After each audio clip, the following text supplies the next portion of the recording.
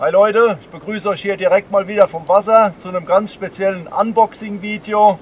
Ihr seht schon, ich sitze hier auf einem ultra geilen Schlauchboot und zwar dem iBoat 500. Und neben mir liegt ein relativ großes Paket und genau darum geht es heute. Und was könnte in diesem Paket anderes drin sein, wenn ich ein Boot unter mir habe und so ein großes Paket? Genau richtig. Das ist das neue Blackhead Airframe Bootszelt mit dem aufblasbaren Tragesystem aus Luftschläuchen. Und wie das genau aufgebaut wird, das sehen wir jetzt, wenn ich das Ding aus dem Karton herausgeholt habe.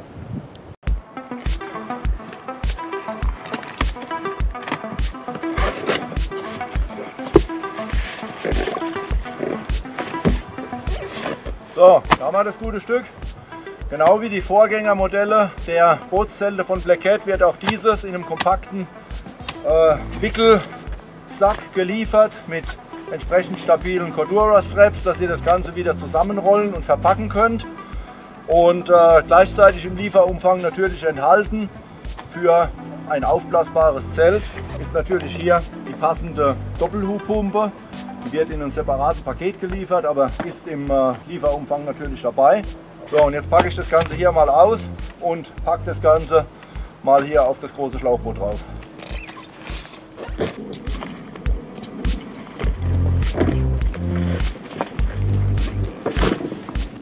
So, in dem stabilen Packsack, in dem Rollsack oder Wickelsack sind jede Menge von diesen Cordura doppelseitigen Karabinerösen dabei. Die braucht man je nach Bootstyp, um das äh, Airframe-Zelt dann am Rumpf zu befestigen. Ich lege den mal hier auf die Seite. Und dann haben wir hier zusammengewickelt die äh, Tür, die heckseitige Tür.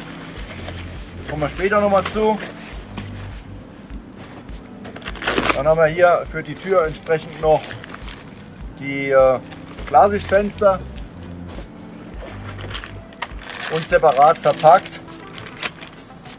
Die Glasfaserstangen, die man braucht, um die Fensterabdeckungen oben drüber abzuspannen bzw. um die Türenabdeckungen ein bisschen abzuspannen.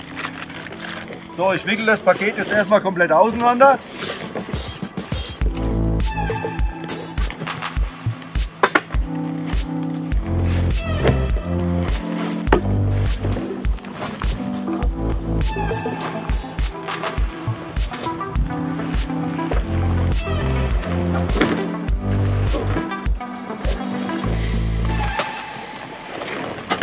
Diejenigen von euch, die schon mal ein Bootszelt von der Firma Black Cat besessen haben, die kennen diese Straps. Die braucht man, um das Zelt das erste Mal auf dem Boot anzupassen. Und zwar werden die unten an den D-Ringen befestigt, dass sich das Stangensystem beim ersten Aufbau nicht zu weit auseinander spreizt. Damit stellt man circa die Bootsbreite ein, also die Zeltbreite für das entsprechende Boot. Ähm, und äh, wenn dann an jedem Boot die passenden Befestigungspunkte gefunden sind und dann werden diese Straps rausgemacht, die brauchen wir dann immer. Das Boot hat circa eine Breite von 2 Meter, wie so viele Wallerboote auch. Ich habe mir jetzt mal diesen Strap hier eingestellt auf ja, 1,80, 1,90 und hänge den jetzt unten in die Ösen ein. Hier vorne habe ich das schon gemacht.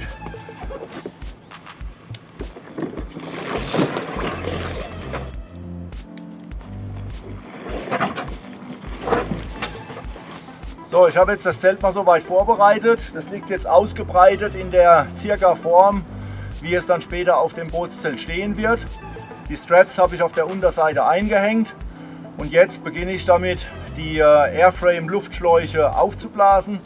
Das ganze Zelt besteht aus drei getrennten Luftkammern, ähm, eine mittig angeordnete über die, zwei, äh, über die zwei Tragbögen und noch einmal Steuerbord und Backbord. Die beiden sind identisch. Das Ganze ist so konzipiert, dass dieses Schlauchsystem für eine optimale Tragkraft und auch Wind- und Sturmanfälligkeit äh, äh, sorgt. Also ihr habt da maximalen, maximale Sicherheit, dass das Zelt äußerst stabil steht und die ganze Konstruktion extrem stabil im Wind und, äh, und auch bei, äh, bei schneller Fahrt äh, auf einem motorisierten Boot dann funktioniert. Alle drei Ventile zum Aufblasen befinden sich hier an dem heckseitigen Eingang und dann kann man das Zelt ganz bequem von hier hinten, wo noch jede Menge Platz ist, entsprechend aufpumpen. So, ich pumpe das Ganze jetzt mal auf und dann werdet ihr sehen, wie sich dieses Zelt dann auf dem Boot von alleine aufstellt.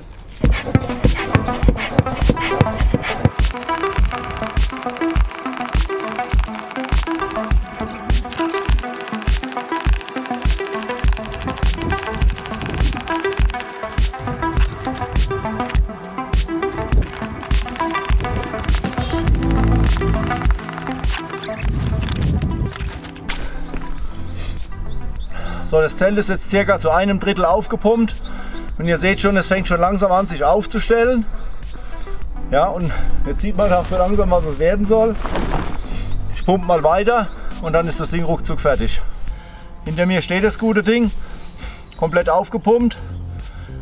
Zum Befestigen haben wir diese Cordura Straps dabei. Die äh, passen eigentlich auf die normalen gängigen Wallerboote wunderbar. Bei dem iBoot hier hat es bewahrheitet, dass man zum Befestigen einfach solche D-Ringe nimmt, solche ganz normalen kleinen Alu-Karabiner, weil unsere Befestigungs-D-Rings genau sich hier immer an dem Punkt befinden, wo an dem iBoot hier entsprechend auch ein D-Ring befestigt ist. Und dann kann man den Karabiner einfach hier einhängen und befestigt das Ganze hier. Und das Ganze steht sicher und fest.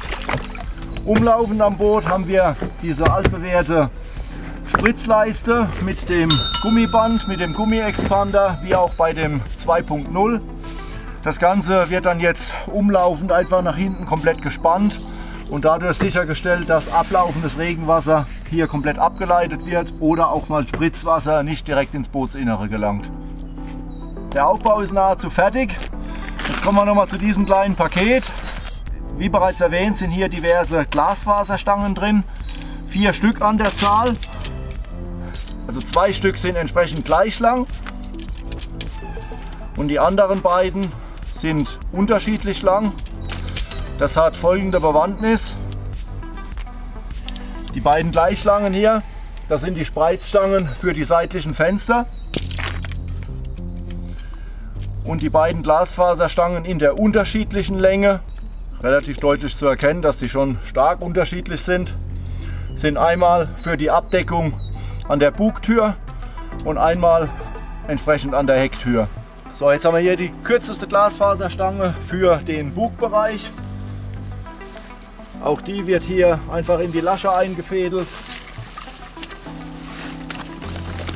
Dann ist hier auf der Seite wieder die Cordura-Lasche zum Einstecken. Jeder, der mal ein altes Hachi-Dome hatte, kennt diese Steckverbindung. Diese Lasche an den Cordura-Ösen hier haben eine Seite einen verstärkten D-Ring und auf der anderen Seite ist das Material durchgängig, dass dieser Stab auch hier an der Außenhaut keine Beschädigung hervorrufen kann. Die Abdeckung von dieser bugseitigen Tür hat eigentlich zwei Funktionen. Zum ersten auch wieder den Schutz von, dem hochgerollten, von der hochgerollten Tür, dass hier oben die ganze Nähte äh, alles äh, entsprechend abgedeckt sind. Und zum Zweiten hat dieses äh, Segel hier auch den Vorteil, dass man bei einigermaßen zügiger Fahrt hier ein bisschen Wind unten drunter fängt und dieser Wind hebt das ganze Zelt auf dem Boot wieder leicht an, was zur Stabilität und zur besseren Fahreigenschaft von diesem Zelt natürlich ganz optimal beiträgt. So, jetzt sind wir hier an der heckseitigen Tür. Gleiches Prinzip. Das hier ist die längste Glasfaserstange. Auch die wird hier einfach nur durchgefädelt, Cordura-Lasche gesteckt und dann das Ganze entsprechend wieder gespannt. So, und dann hat man hier auch mal bei richtig schlechtem Wetter noch zusätzlich 30, 40 cm Vordach und äh, der Eingangsbereich, wenn man hier unten drin dann sitzt, ist noch einmal zusätzlich geschützt. Hier haben wir jetzt das Boot in der Heckansicht. Ihr seht hier die geschlossene Moskitofront. An der Moskitofront haben wir hier unten Glasfaserstäbe eingenäht, dass das Ganze ein bisschen ein Gewicht bekommt. Das heißt, die Plagegeister bleiben draußen, weil die Moskitofront über diese Glasfaserstangen immer glatt auf dem Boden liegt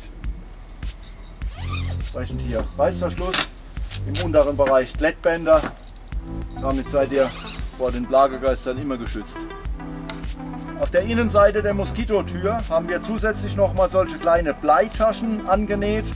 Die können hier mit einem Klettband sind die verschlossen und dann könnt ihr zusätzlich hier nochmal irgendwelche kleinen Gewichte, ein paar Karpfenbleie oder sowas reinmachen. Damit bekommt dieses Moskitonetz auch nochmal ein bisschen Gewicht und flattert entsprechend bei ein bisschen Wind nicht so hin und her.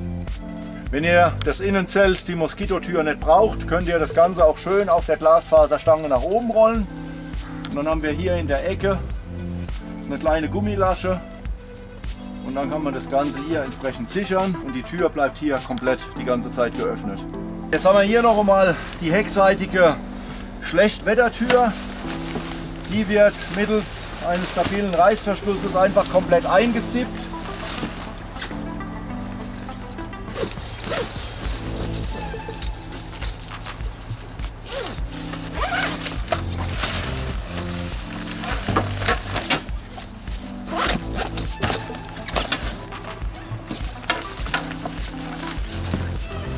Diese Tür hat wieder unterseitig eingelegte Glasfaserstangen als Beschwerung.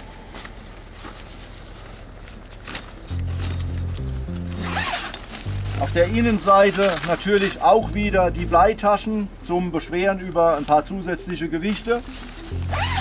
So, hier an der heckseitigen Tür sind auf beiden Türflügeln jeweils noch einmal Fenster verbaut. Die sind aktuell hier jetzt über den äh, wasserdichten Außenstoff verschlossen kann man hier natürlich öffnen.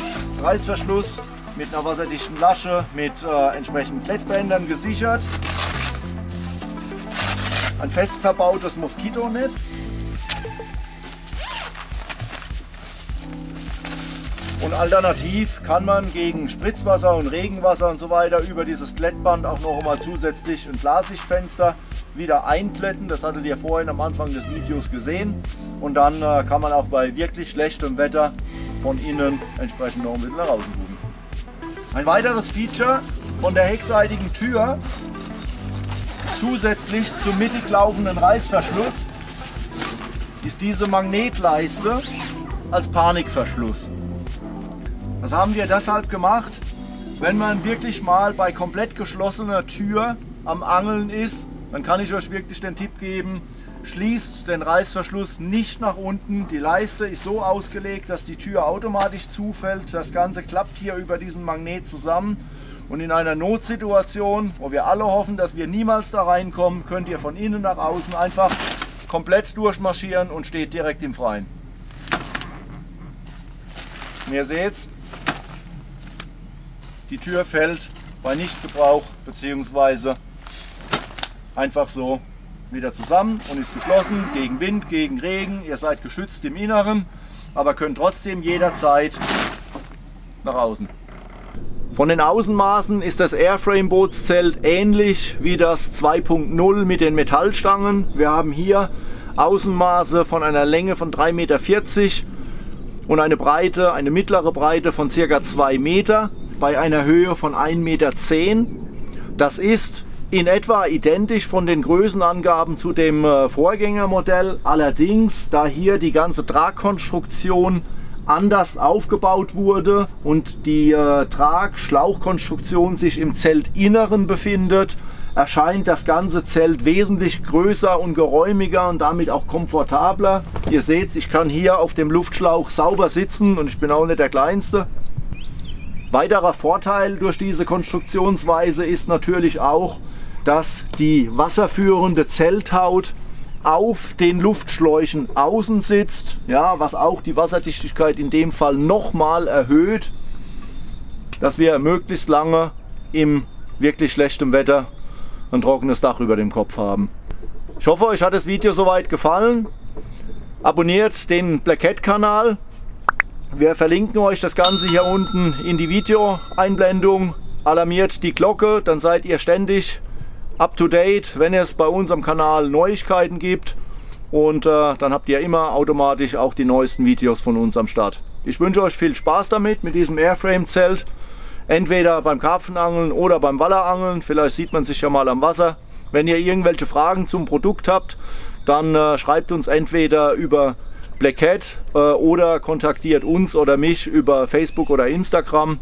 Und dann äh, schauen wir, dass wir das Bootszelt auf euren jeweiligen Bootstyp optimal installiert bekommen. Bis dann, ciao, euer Grale.